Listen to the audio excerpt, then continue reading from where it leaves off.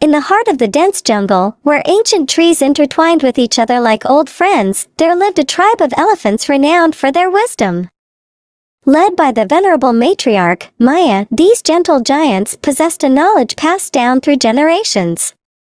One day, as the sun painted the sky in hues of orange and pink, a young elephant named Covey approached Maya with a troubled expression. Matriarch, he began, the river that sustains us is drying up. What should we do? Maya, with her wrinkled skin and wise eyes, listened intently. She then beckoned Covey to follow her deep into the forest. Amongst the towering trees, they stumbled upon an ancient banyan tree, its roots spreading far and wide. This tree, Maya said solemnly, has witnessed the ebb and flow of life for centuries. Its roots run deep, tapping into hidden springs beneath the earth. We shall do the same. With Maya's guidance, the elephants dug deep into the ground, unearthing hidden water sources. Soon, the river flowed again, teeming with life and vitality. The tribe rejoiced, their faith in Maya's wisdom reaffirmed. As time passed, more challenges befell the tribe. A fierce drought threatened their food sources, and the younger elephants grew restless.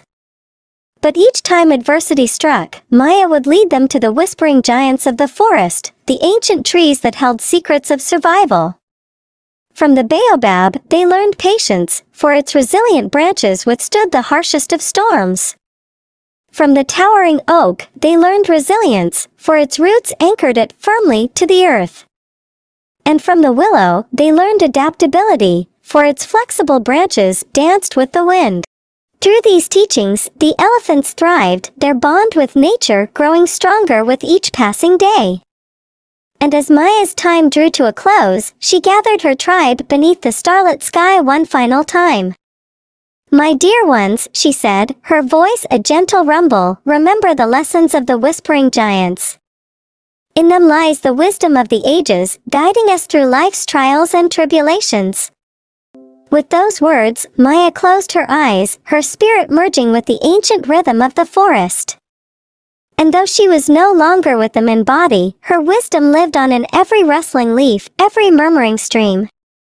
The elephants, now guardians of the jungle, continued to seek counsel from the whispering giants, honoring Maya's legacy for generations to come.